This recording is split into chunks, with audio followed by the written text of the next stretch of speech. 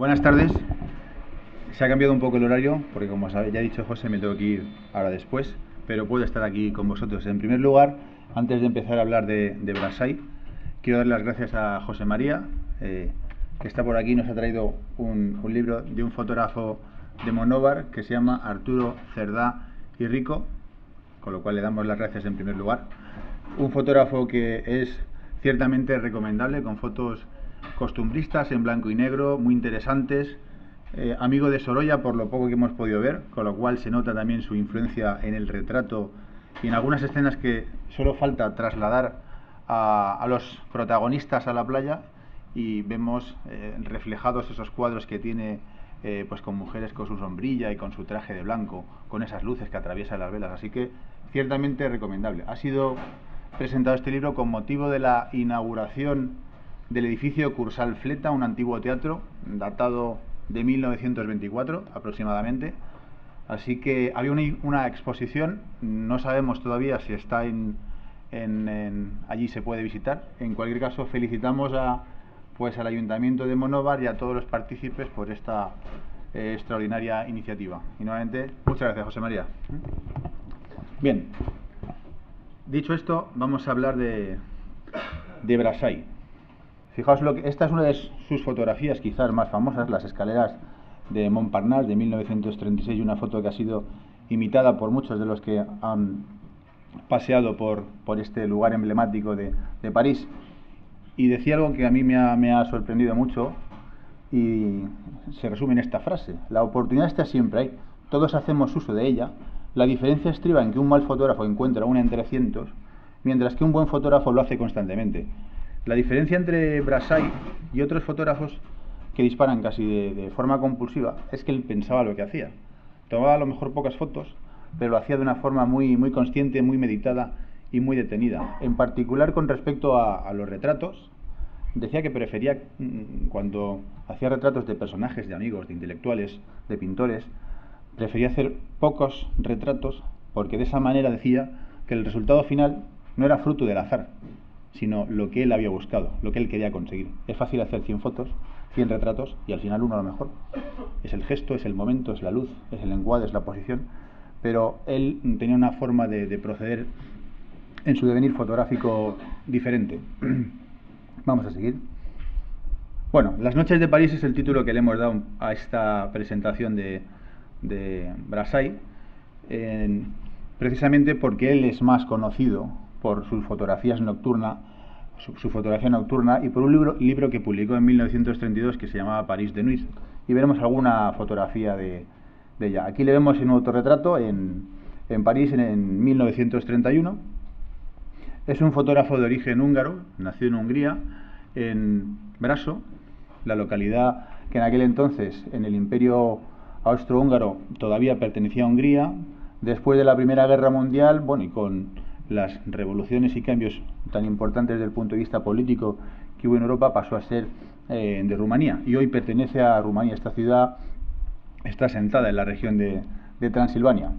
Bueno, era un hombre absolutamente polifacético. De él, de hecho, él no quería ser encasillado ni como fotógrafo, ni como vemos ahí como escritor, ni como diseñador de tarjetas, ni como surrealista, ni como escrito a tendencias o corrientes. Él era tan polifacético, tan versátil, que le gustaba precisamente no ser encasillado.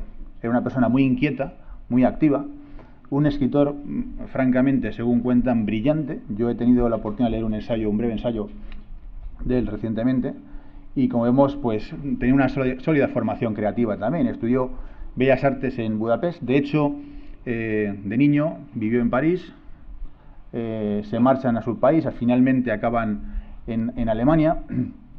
Eh, tras la, Primera Guerra Mundial, eh, termina o completa sus estudios en Berlín y allí conoce a personajes de talla intelectual, pues como un pintor eh, húngaro también conocido como Alajos Tihany, a Laszlo Moholy-Nagy, a Oskar Kokoschka, Vasily Kandinsky.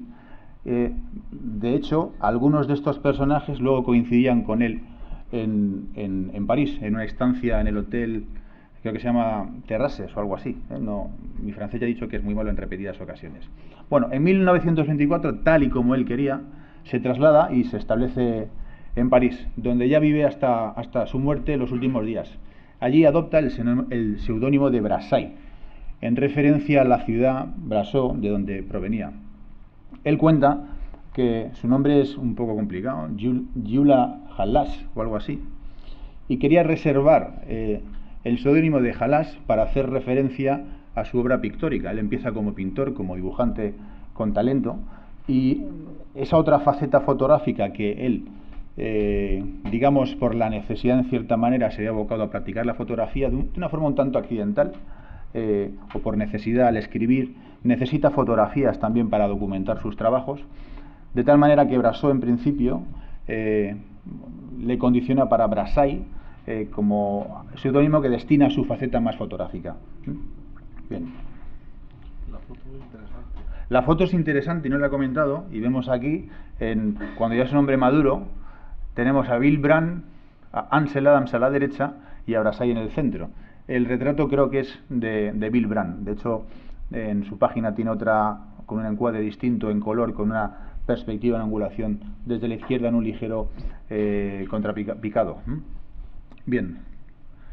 En 1929 adquiere su, su primera cámara, que es una Voigtlander, él se introduce un poco en, la fotografía gracias a André Kertész, del que hablaremos también, un fotógrafo húngaro eh, que le enseña los primeros trucos o secretos del mundo de la fotografía. Él era paseante habitual de las calles parisinas y decía además que le gustaba la lluvia, la niebla, las orillas del Sena, las gentes de París, los barrios marginales, la agitada vida nocturna. Y traba una, una estrecha amistad con Henry Miller, un escritor norteamericano eh, que, con dificultades y apuros económicos también en aquel entonces, eh, con el cual deambula por las calles de París. A, Henry Miller le gustaba pasear por la noche y encuentra él un aliado para adentrarse en los bistros, en los prostíbulos, en, los bares, en los cafés, eh, que, algo que le permite después dos cosas o varias cosas, entre ellas practicar el francés. Aprende francés pues hablando con con maleantes, con prostitutas, en prostíbulos, con, músicos y con gente callejera. No, sé hasta qué grado eh, alcanzaría su perfección o en qué manera condicionaría eso su, aprendizaje del idioma francés. Eh, él decía además que los, los mejores resultados, como vemos ahí, los obtenía con tiempo húmedo y lluvioso.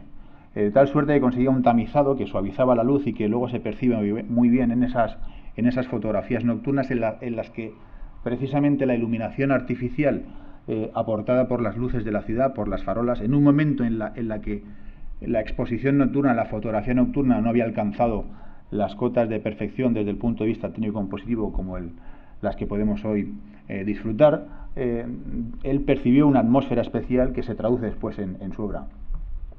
fijaos que viaja hasta Sevilla, esta foto que vemos a, a la derecha, es de vuelta a casa en Sevilla en 1954, donde realiza un reportaje eh, de la Feria de Abril, de, las, de la Semana Santa Sevillana, y se llama Seville en, en. Esta, esta obra eh, se publicó originariamente en francés y en el año 2007 eh, la Caja San Fernando, si no recuerdo mal, hizo una retrospectiva y editó un catálogo y una exposición con estas obras de Brassai, que además están documentadas con textos propios del autor donde además confunde también eh, las, las, seguidillas con las sevillanas. ¿no? Bien, destaca también como escultor, como decíamos, y vamos a ver aquí algunas, un par de, esculturas, de obras, eh, eh, figuras femeninas. conoce a Picasso y probablemente la cultura de la época, como sabemos, tan rica en el, en el país de la época, pues probablemente evolucionó también o influyó en su en su carrera, en su vida y en su producción. Ahí le vemos a la izquierda en su atelier con, figuras de inspiración probablemente incluso africana. Eh, podríamos hasta percibir la influencia de algunas esculturas de, Picasso y otros eh, autores franceses. Vamos a ver a continuación una selección de fotografías. En la, de la izquierda se llama Arroyo Serpenteante de 1932 y vemos esa eh, tan renombrada eh, eh, curva en S utilizada pues, por los fotógrafos de hoy en día y que podemos leer en múltiples foros, revistas sobre fotografía y libros, y como él ahí precisamente ha sabido conjugar los distintos elementos, el adoquín, las sombras, los troncos de los árboles, el fondo de la calle, la mirada que nos guía desde el principio, desde la diagonal izquierda, trazando esa curva tan, tan sinuosa que parece serpentear entre los troncos de la ciudad, eh, sin presencia de, en principio no se ve al fondo ningún personaje, ni nadie que perturbe esa aparente tranquilidad que aparece en, la escena. Vagabundo en Marsella, ¿quién no ha hecho fotos de este tipo? ¿O quién no se fija en algunas fotografías pues hechas por reporteros hasta premiadas incluso? Yo recuerdo una de un personaje, o de, creo que está en un libro que se llama Cazadores de, Luces, donde se ve una foto de, un Cristo paseando que a mí me gusta mucho, en, no sé si en Sevilla, en la Semana Santa, y al fondo también, pues un anuncio muy significativo, y no recuerdo exactamente el mensaje, pero como vemos estos anuncios en la ciudad, en las paredes, en los muros, combinados con las personas, ahí parece que el, que el vagabundo está deseando o soñando con esa eh, mayonesa o con esa salsa o con esa ensalada. Os recomiendo además eh, tengo reservado una pequeña lectura de un, de un, pasaje seleccionado de este libro. Este libro es, como casi siempre o como muchas otras ocasiones he recomendado, es de la editorial eh, Taschen y es Brasai. Eh, y además, bueno, me ha comentado Manuel, que creo que está por aquí, que lo ha visto en, en Barcelona a un precio pues exorbitado, exorbitado, un disparate, comparado con lo que yo este creo que lo adquirí hace, pues no sé si un año, al precio de 9,98 que os recomiendo. Ah, hay, tres o cuatro libros de, esta editorial realmente excelentes. Otro que ando buscando es de un autor francés que se llama también Willy Ronis, que alguno de los que está por aquí lo tiene, Carlos Balsalobre, y tiene unas fotos, pues, verdaderamente sorprendentes. Este retrato lo vamos a ver aquí, de esta eh, mujer jugando al billar, donde además de, ser francamente eh, atrayente esa mirada, de esta mujer, que no sabemos si esto, esta foto está hecha, por lo menos no, puedo decirlo en este momento, en un prostíbulo, pero donde juega mucho con los reflejos. Hay un par de fotos como esta que vemos aquí de Brasil, que es muy conocida, donde él, podemos ver, observar cómo él, los espejos le, le atraían poderosamente su atención. Y precisamente, pues podemos ver fotos dentro de la foto. Eh, percibir la otra cara oculta de los personajes, incluso terceras personas que en primera instancia, en el primer plano, en el plano principal, no les prestamos atención, pero que están ahí, como detrás del espejo. Eh, me sugiere incluso la obra esa de, Lewis Carroll, de Alicia en el País de la Maravilla, y creo que la otra detrás del espejo, ese mundo que parece que está al otro lado de, ese espejo y que observa a su vez a los personajes protagonistas de la escena e incluso al propio fotógrafo. Este hombre además hablaba alemán, dado que pasa parte de su vida en Alemania, eh, alemán, eh, obviamente el húngaro, trabajó escribiendo para ganarse la vida para revistas de Hungría y de Alemania, eh, para costearse pues, la vida en cierta manera, hasta el punto que pasó incluso graves apuros económicos con, con Henry Miller. según cuenta el propio Henry Miller, de hecho, a veces se sentaban simplemente en un café parisino a tomar un café esperando, charlando, pasando horas por un módico precio, esperando o que alguien les invitase, que hablase con ellos, o hasta que el propio comerciante les dijese, os podéis marchar. Dicen incluso que él tuvo que eh, buscar hasta escarbar fruta en, los cubos de basura para, alimentarse. Tal fue el grado de penuria que en, ciertas ocasiones, fijaos, lo sacrifica todo en pos del arte, de, su verdadera pasión. Bueno, esta foto se llama eh, la manicura de los árboles, creo que es El podador. Un título que me parece a mí absolutamente eh, fascinante. La semana pasada Niall Benby hablaba de la inteligencia, la, sesión iba precisa, y yo creo que esta foto y este título a él le gustaría. ¿eh?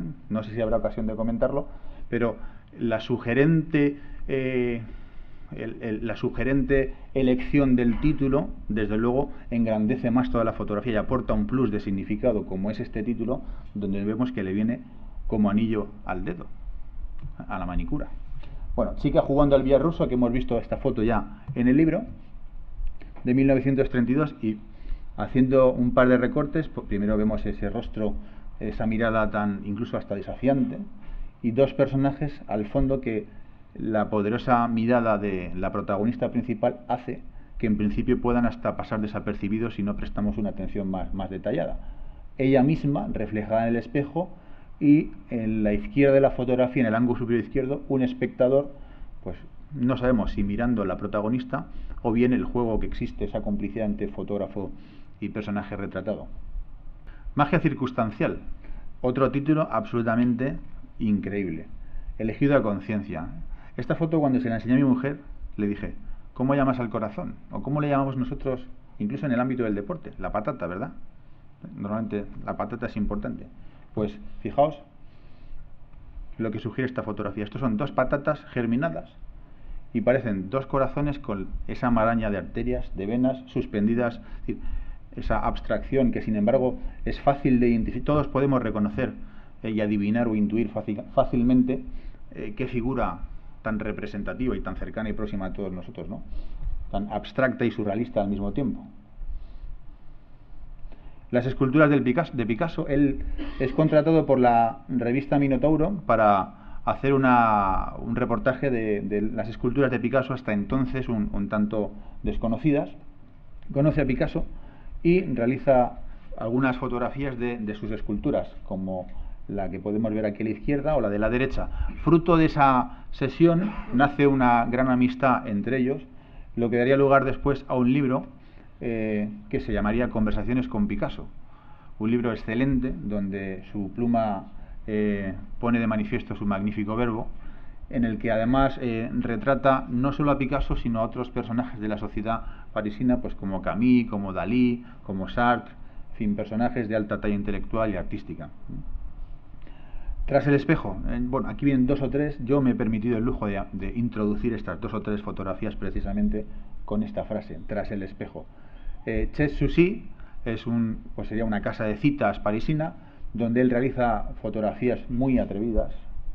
Hay dos o tres fotografías donde vemos ese, ese juego con los espejos que él le gusta tanto. Mm, tiene mm, esos ambientes, esos prostíbulos le gustan, es decir, los ambientes marginales nocturnos y aquí nuevamente vemos un espejo casi infinito que se adivina y se prolonga una foto eh, tras otra. Eh, hay dos o tres más, un par de ellas más. Baile popular de las cuatro estaciones del Lab de 1932. Eh, esta creo que es la, la, que ilustra la portada de este libro, donde vemos bueno, pues a los dos personajes cómo se reflejan también en el espejo, incluso esa tercera persona que aparece casi al margen de la fotografía y de un modo testimonial únicamente. ¿no? Amantes en el Café de la Place d'Italie, de 1932, donde nuevamente, fijaos incluso en esa especie de cruz que se traza en el espejo entre la línea horizontal y las dos diagonales que se entrecruzan ahí, ¿eh? formando un eje que además pasa alineado por la figura masculina y donde solo podemos ver el rostro, los ojos del, del varón reflejados en el espejo en esa mirada pues casi de, deseo, de incluso de lujuria, me atrevería a decir. Pasamos a la siguiente. Este es el libro de 1932, Las noches de París, París de Nuit. Esa es la portada del libro. Y él decía, la noche sugiere, no muestra, la noche nos perturba y nos sorprende por su extrañeza, libera fuerzas de nuestro interior que durante el día son dominadas por la razón. A él desde luego le cautivaba la noche y se traduce después eh, como a tantos fotógrafos de hoy en día, sin duda, que se lo digan al grupo de noctámbulos, ¿no? Bueno, el iluminador de farolas de 1931. Debemos pensar que la gran parte de la iluminación de aquellos entonces todavía eran, farolas de gas que requieren de, individuos como este, de sujetos que se dedicaban por las noches, pues, progresivamente a iluminar las, las farolas de la ciudad y que progresivamente serían sustituidas por la iluminación artificial. Urinario Público Vespasiano, Boulevard Auguste Blanquil, de 1933. Otra foto que a mí particularmente me encanta por ese, ese esa figura que vemos en la parte izquierda, que ese será el urinario probablemente, y luego, bueno, las líneas, parece incluso que la calzada está parcialmente nevada, me intuyo a pensar que es así, y vemos las marcas de los carruajes impresos sobre el pavimento, eh, un protagonista también a la izquierda que es el árbol, parte de un edificio en la, en la esquina inferior izquierda y al fondo pues se ven, desde luego, el juego de, líneas rectas, de curvas, de sombras, ese contraste entre los blancos y los negros es francamente atrayente. La banda de Alberto el Grande, donde pues un grupo probablemente de delincuentes es fotografiado con una luz, supongo que artificial, no creo que sea aportada por, por Brassai, donde podemos dirigir, el, fijaos lo que he leído al principio, o no lo leído todavía, me lo he reservado para el final, me lo he reservado para el final. Pero aquí vemos como el fotógrafo intencionada o deliberadamente dirige la mirada del espectador, nuestra mirada, en primera instancia hacia los protagonistas de la escena, hacia ese grupo, y a continuación todos nos preguntamos qué es lo que están mirando, qué, qué, poder, qué, qué fuerza de atracción tan sugerente es capaz de concentrar a esas horas de la noche y en esos lugares tan sórdidos que concentra en, tal medida la atención de los cinco de forma simultáneamente y ninguno se percibe de la presencia del fotógrafo. Columna Morris, Avenida del Observatorio, de 1933 también. En esta escena podemos apreciar esa neblina que decía él. A mí me recuerda incluso pues, al cine negro norteamericano, podemos hablar de, de Casa Blanca, de películas donde ese protagonista podría ser perfectamente Humphrey Bogart, enfundado en su gabardina, en, y con el, el, solo falta, al menos a mí incluso me sugiere, falta solo que aparezca entre la niebla Ingrid Bergman y ya el cuadro es completo, perfecto, maravilloso. Estatua del Mariscal Ney en la niebla, 1932. Y aquí nuevamente podemos hacer volar nuestra imaginación, el, hotel al fondo y esa figura del mariscal, del almirante, dando el alto a las tropas, diciendo vamos todos. Eh, bueno, incluso podemos pensar en nuestros en el Principito, en estas lecturas infantiles, en, escenas bélicas, en fin, es altamente sugerente. Y nuevamente la, la, combinación de la atmósfera de esa neblina con las luces de la ciudad le da un aire mágico, una sensibilidad especial. Montmartre en 1932, bueno, una fotografía más sencilla, quizás, pero igualmente sugerente, donde vemos incluso la farola ese eje vertical, la señal que apunta hacia la izquierda, que nos dirige otra vez hacia la puerta, que es casi esas escaleras que le preceden son casi una invitación a adentrarnos en la vivienda y a preguntarnos quién vive ahí, de qué se trata, qué hay detrás de esa puerta. Historias que cuentan las fotografías y esta cuenta una, o muchas. Cada uno puede hacer una lectura diferente. Grafitis y transmutaciones. Bueno, esto es hace un ensayo eh, desde 1932 hasta 1950. Él le cautivan los grafitis parisinos y eh, dice que devuelve, incluso devuelve a, la, a, la, a, la, a los libros, digamos, a, hace una traslación de lo que observa en las paredes, en las paredes, eh, a, la fotografía impresa. De alguna manera revive eh, ese arte incluso milenario. ahora cuando veamos las fotografías, si estuviera aquí nuestro amigo Chema, que nos acompañó en alguna otra ocasión y que fue con José Benito a, capturar un, un grafite en una, en una cueva, no sé muy bien, una pintura rupestre, una pintura rupestre. Incluso vemos aquí los orígenes del hombre, como de las cavernas de las cuevas el hombre sigue progresando y sin embargo no deja nunca de cultivar esa necesidad de dejar su sello personal. Y de los grafitis pasa a transmutaciones, que ahora veremos de qué se trata. Dice, me he enfrentado a estas placas casi mecánicamente como un escultor, de hecho era escultor. Resultaba muy curioso comprobar cómo los desnudos se transformaron con la incisión de un objeto punzante que destruía la materia. Así nació la extraña obsesión de transformar las formas en instrumentos musicales. Mujer guitarra, mujer mandolina. Se trataba de reacciones casi inconscientes que rompían la fotografía en mil pedazos. El, graffiti le, llama las le lleva a las transmutaciones, al cliché ver, que son ni más ni menos que una intervención en las placas del cristal, rayando, dibujando sobre el soporte y después positivando. Bien, vamos a ver un ejemplo. Estos son sus cuadernos, él documentaba los grafitis, recorría la ciudad, tomaba nota, incluso volvía en, en años posteriores. Si queréis ver eh, ejemplos de esas transmutaciones, podéis consultar el Spencer Museum of Art de la Universidad de Kansas y aquí podéis eh, observar eh, una colección de estas, esta colección de transmutaciones. Veremos una, algún par de ellas a continuación. Bueno, aquí tenemos los grafitis, aunque no se ve muy bien la letra, la podemos leer, creo que es Animales, Magia, Amor, El lenguaje de los muros, Nacimiento de rostros y máscaras y rostros, La muerte, Imágenes primitivas y Pompeya y la guerra. Es decir, él hace su serie de grafitis y luego las agrupa por colecciones en función de lo que le van sugiriendo y finalmente les, les da estos títulos tan, tan apropiados. Y aquí vemos pues estas fotografías eh, que él detenidamente anota, incluso vuelve en horas posteriores con condiciones lumínicas diferentes eh, o años incluso después para observar su, su evolución y volver a fotografiarlas. Esto fue objeto de una retrospectiva en el Círculo de Bellas Artes de Madrid en el año 2007. Eh, en un viaje a Estados Unidos también, él en principio no le gusta la fotografía en color, la practica, las primeras fotos que realiza son con, con plantas y con vegetales, y luego se da cuenta del gran poder que le, otorga para dar un punto de vista diferente a los grafitis. De tal manera que cuando vuelve, eh, experimenta con nuevas fotografías, como vemos en color. Transmutaciones. Bien, pues aquí vamos a ver algunos ejemplos de ese eh, cliché, ver.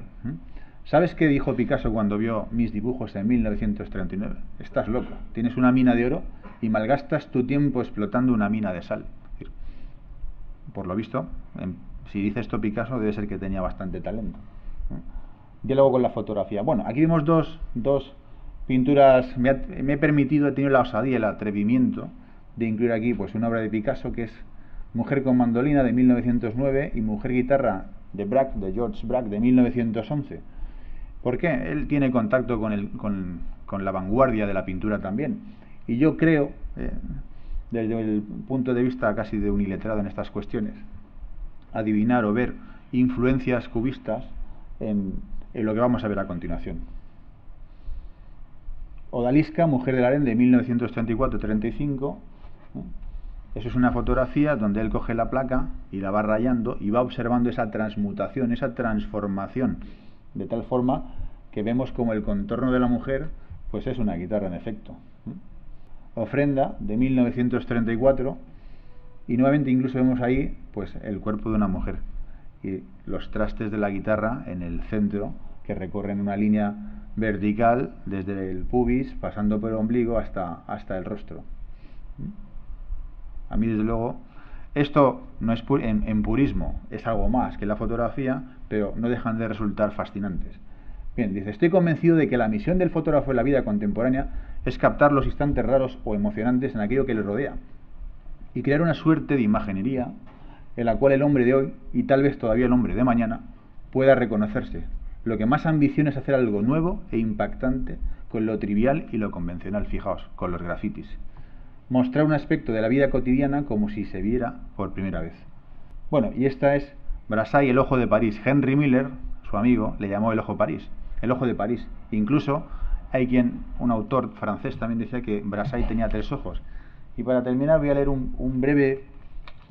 breve nota de este libro que me ha gustado.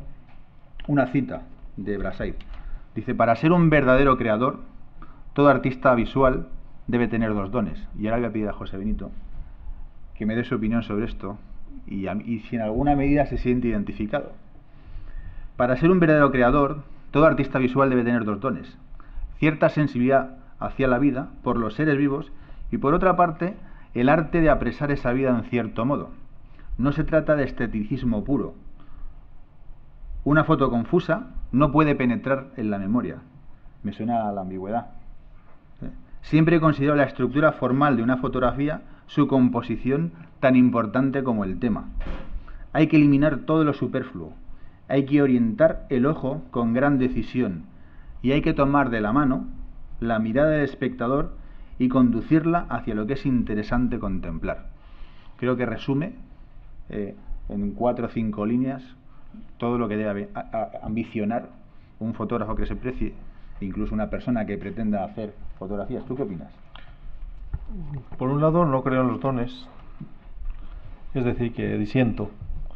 Creo que todo esto se entrena, se educa y cualquier persona puede llegar a hacer lo que hacía Brasai o su propia visión, que no tiene ni por qué parecerse. Es decir, no creo en los dones, no creo que nadie te esté tocado por una mano divina y de origen ya no pueda llegar a expresarse así o hacer algo distinto. O sea que en esto sí que no creo, en estos dones, no, estoy contra ellos. Parece una visión muy nazista, ¿no? Muy, tú no has nacido con el don, tú no puedes ser. No sé, edúcate, inténtalo y veremos lo que pasa. Y por otro lado, ha resumido en cuatro o cinco frases pues lo que, lo que, lo que podría ser la bandera del fotógrafo. Es decir, realmente es, es esto lo que buscamos. La sensibilidad. Por un lado, esa llamada hacia la vida, en la naturaleza, que no es porque yo haya hecho naturaleza o haga mucha naturaleza, no, porque si miras el arte, los, los, pintores eh, clásicos que tienen citas reconocibles y reconocidas hablan de la naturaleza como el origen de las cosas, como, como que todo está ahí, como que es la fuente de la vida, nos lo da todo, nos da el color, la luz, el alimento. Parece que es un poco la base. Y estas son mis reflexiones, no sé si te han convencido. Muy bien, sí. La ambigüedad, lo superfluo, dirigir la mirada del espectador, eh, desechar lo, ambiguo, dirigir la imagen, la atención. En definitiva, eh, hacer la fotografía también pensando en, un, en el público y en, el, en el ego, en el ignorante en fotografía, como en esa foto que hemos visto de la, de la banda de delincuentes, que fácilmente se aprecia su intención. Por eso me lo he reservado para el final, porque ya estamos viendo efectivamente cómo el autor ¿eh? deliberadamente ha realizado la toma para dirigir la mirada del espectador hacia dónde, hacia la luz, en cierta, en cierta dirección. Bueno, y con esto hemos terminado por hoy. Muchas gracias.